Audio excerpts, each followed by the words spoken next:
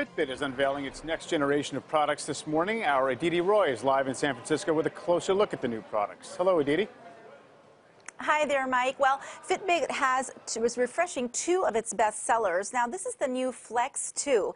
It is 30% slimmer than the original version. It's also waterproof, but the big change is that it, you can actually take the activity tracker out and put it in a different colored band or inside a bracelet like this one. It's one of the new products in their new line of jewelry, which includes bracelets in three colors or even necklaces. Now, Fitbit execs tell me that they decided to introduce smart jewelry in their lineup to appeal to their female customers who wanted a more fashion-forward option.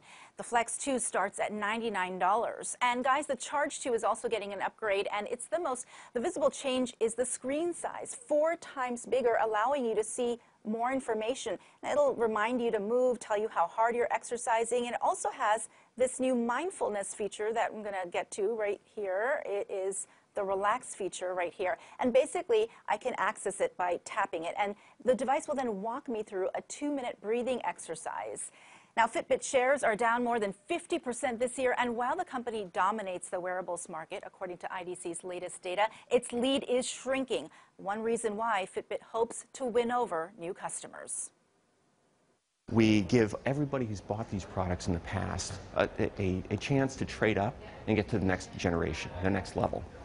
Second, with all these new features, now we're making these products more powerful. So we're going to attract new people into the Fitbit family. And guys, both the Flex 2 and the Charge 2 are available for pre-sale today. Back to you. Very interesting, especially that jewelry introduction. Aditi, thank you. Hey CNBC fans, thanks for checking out our YouTube channel. Here you're going to find videos packed with all of the information that you need to be smarter about your finances. You can subscribe by clicking right here and click on all the videos around me or the eye right here to watch the latest from CNBC. Thanks for watching.